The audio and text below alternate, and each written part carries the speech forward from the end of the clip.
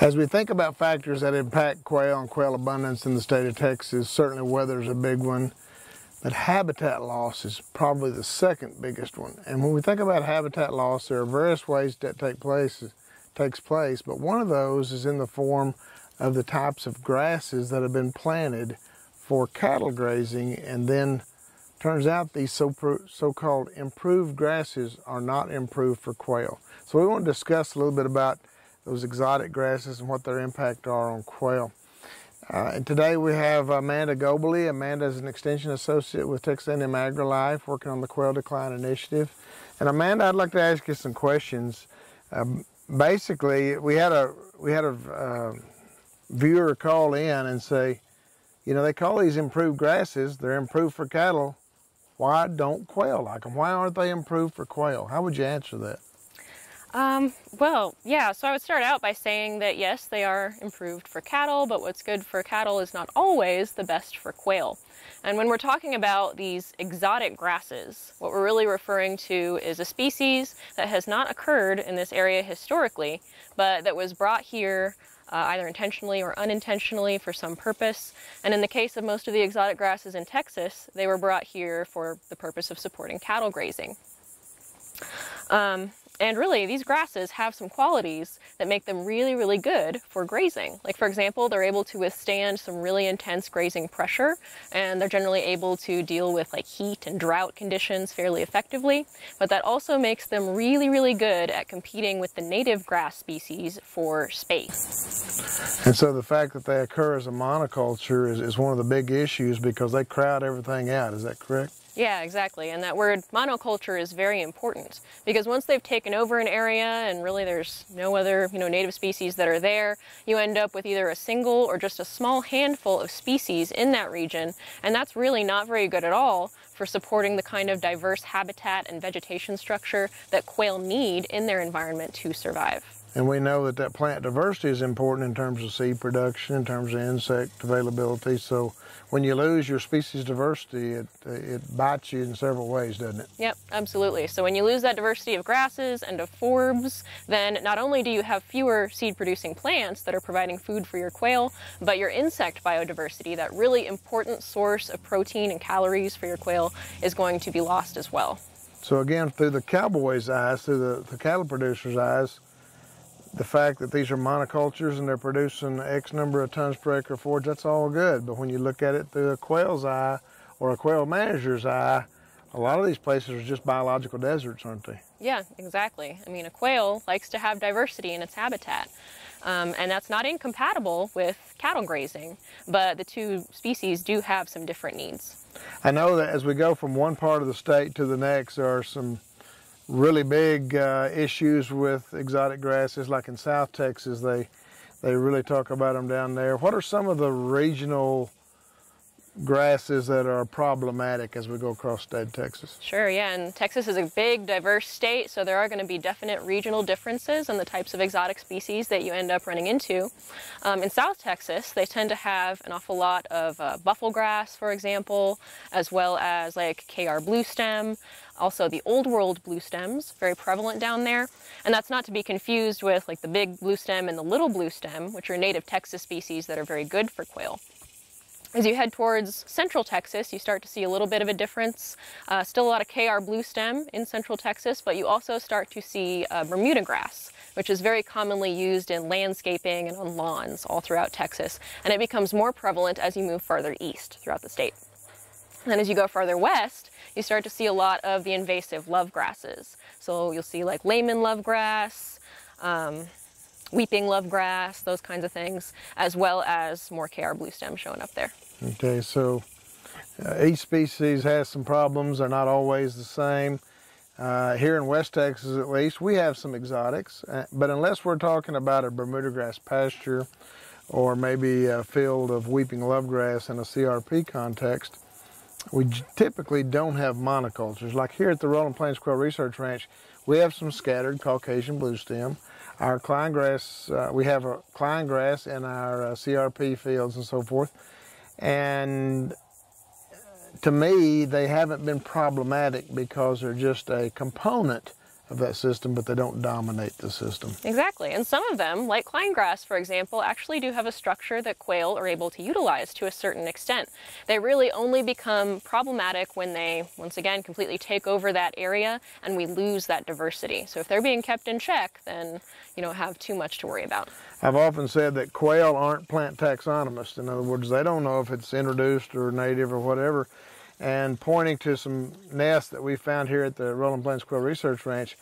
Uh, we had a nest uh, four or five years ago that had 21 eggs in it in Caucasian blue stem. So they're looking for structure. Yes. And and again, even when I look at when I go to South Texas and I see buffalo grass, I think, hmm, you know, that, that structure doesn't look all that bad, but it's just the fact that it it's just a monoculture and there's basically nothing else growing in it. Yep. That's exactly right. If they can nest in it or eat it or at least move through it fairly easily, then a quail can typically find a use for it. But they can't do anything. And let's talk about the, the seeds because typically, if we're talking about what you know what do quail eat, uh, there there aren't a lot of grass seeds that are really good uh, good seed producers for quail. The panicums, the paspalums, some of those are, but why aren't these improved grasses like the old blue stems and some of those you know, why aren't they good seed producers for quail? That's a really good question. Uh, the fact is, in a quail's eyes, all seeds are not created equal. Typically, what they look for in a really good food source in a seed is that it should be kind of hard and slick. So something that's really easy for them to swallow. A lot of these exotic grasses and exotic vegetation produce sort of a fluffy or a hairy seed.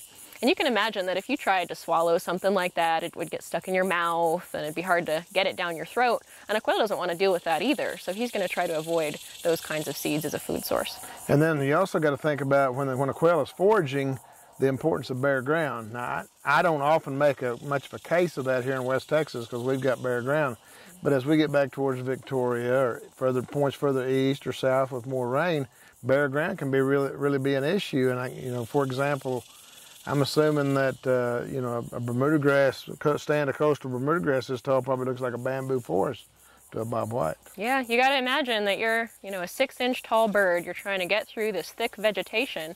And as you're trying to move through it, you also have to be on the lookout for seeds and other sources of food. So if it's so thick you can hardly move, then you're not likely to be able to spot the seeds that you need to eat either. And what impact uh, do you think these exotics have as far as uh, like a monoculture of Bermuda grass, whatever, is on insect availability relative to a more diverse native plant community? Well, again, the more diversity you have in your plant community, the more diversity you're going to have in your insects. And essentially that gives quail more insect biomass and more options. So you could theoretically have a monoculture that does a really good job of supporting grasshoppers. But grasshoppers are not going to be the only insect food source that a quail wants to utilize. They're also going to want to eat beetles and leafhoppers and, you know, other types of insects. So if you maintain that diversity, then the insects are going to be there. You're not going to have to manage specifically for the insects if you just have the forbs. Well, let's talk about what can we do. I mean, you know, a lot of times we've inherited what we've got kind of thing. Mm-hmm. I'm assuming it's probably a wise strategy if you don't have exotics, think long and hard before introducing them in, in terms of replacing native grass. But a lot of countries, you know, you, you bought something, it's got 80 acre Bermuda field on it, or it's got 200 acres of buffalo grass. What are some options that we can do? Yeah, so you're absolutely right. Like the most important management practice when it comes to exotics is prevention. If you can try to make sure that those exotic species don't get introduced to your property in the first place, then you're staying ahead of the game. Because because once they get there, then they get established and they're very, very difficult to remove. So there's a few different options uh, depending on what the situation is. Sometimes you can really graze them intensively and you know get them to kind of go away a little bit. Uh, sometimes there are herbicides out there that are specific to different species. Sometimes uh, controlled burning can assist with that. Uh, but really, no matter what, if you have like a serious monoculture that you're trying to remedy, it's going to take a lot of time, energy, and money to get rid of that.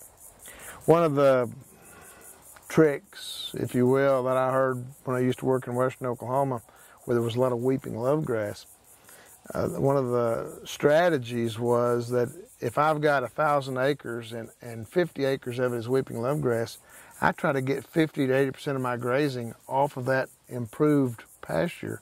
And then I just use my native range as a lifeboat. And that seemed like a pretty sound strategy because typically at least here in the western portion of Texas, the more we can defer or rest our native pastures, probably the better off we are for quail. So focus that grazing on those grasses like Bermuda grass and that kind of thing. Get most of your grazing there and then just don't hit your natives any harder than you have to. Exactly, yeah. You can kind of shift pressure to those improved grasses and use them for what they were introduced for initially. Um, and then you can maintain other areas as quail habitat. As a prudent manager, if you see areas that have exotics coming into them, they're invading into those, what should you do? Well, you really have to be careful initially because a lot of these exotic species will actually uh, take advantage of like a significant soil disturbance. Uh, like we said, they're really hardy, they're really good at surviving, and they're really good at coming back after something like that. So if you see that you have, you know, just a few patches of exotics and you just completely disturb the whole area, then they can potentially um, push out your native species and take that area over. So you want to be a little bit cautious with that. Uh, just kind of keep an eye on them. And in some cases, if you're able to, you know, maintain your native species, then they can rein in those exotics a little bit. If you have some of those little spot problem problematic areas, would you ever consider uh, surgical strikes with something like glyphosate, spraying with that?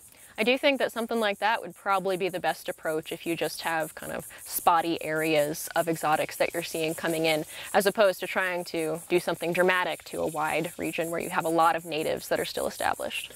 One of the quail managers we've met down in South Texas, where they do have a lot of issues with exotics, he summarized the situation with, if they're not a monoculture, we can live with them. Would you agree with that? I would definitely agree with that. And it kind of goes along with the saying, you know, if it's not broke, don't fix it. Okay. So you can, if you can learn to live with it, then you should do that. Okay. So Bermuda grass is an example of an exotic grass in Texas that has virtually no utility for quail. For one thing, it's what we call a sod-forming grass, meaning that it tends to grow in a continuous sheet on the ground, as opposed to a bunch grass, like little bluestem for example, that grows in clumps. Because it grows in a continuous sheet, it doesn't make those little avenues for movement that you would find in a field full of bunch grass. So it tends to restrict quail as they're trying to actually move throughout the landscape. In addition to that, it really doesn't get tall enough to provide any significant like thermal refuge or concealment from predators. So a quail caught in a Bermuda grass field is for starters going to have a hard time moving around and he's also not going to have any protection from aerial predators that are trying to eat him.